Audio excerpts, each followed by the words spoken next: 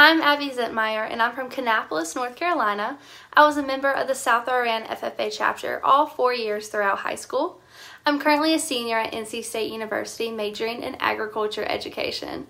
Throughout high school, I was very involved in FFA through various CDEs, LDEs, community service events, and even held several different officer positions in my chapter, the Southwest region, and served on the 2020-2021 state officer team. This past June, I was also awarded State Star in Agri-Science at State Convention.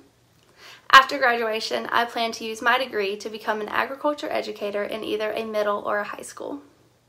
During my junior and senior year of high school, my SAE consisted of planning, conducting, and analyzing two different strawberry agri-science research projects at my school's land lab, with an overall goal to increase strawberry yield. For the first project, my partner and I focused on the impact that the color of plastic mulch has on strawberry yield. We studied the difference between the use of black and red plastic mulch. For my second project, I studied the use of row covers during the colder months of the strawberry growing season and if it would increase the overall yield. For both agri-science research projects, I was able to compete at the national level, placing second and seventh place.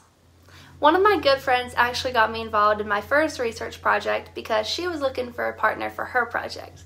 I agreed because I thought it'd be a pretty fun thing to do alongside my friend, which it was. The following year, I then conducted my own project, though I would not have been able to participate in either of these projects if it wasn't for my agriculture teacher, Mr. Overcash. One of the biggest challenges I encountered with my SAE was having to learn statistics in order to analyze my data and make a conclusion. I had never taken statistics before, but thankfully I had a lot of help from my agriculture teacher and math teachers at my high school. Throughout this process, I was able to learn about how to conduct research projects and how to analyze the data. In science classes, we all learn about the scientific method, but through my SAE, I was actually able to practice it. I also learned a lot about strawberry production.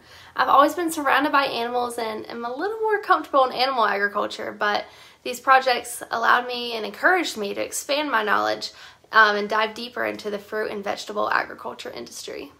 I absolutely fell in love with research and the Agri-Science Fair competition. I'm excited to hopefully be able to provide similar experiences to my future students and allow them to conduct different research projects based on their own interest. SAEs are such a unique learning experience that you get to design and cater to yourself. There are so many different opportunities and possibilities when creating an SAE which allows you to have fun with it.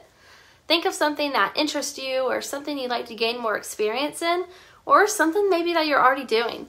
And then ask your agriculture teacher's advice on how you can use it as your SAE.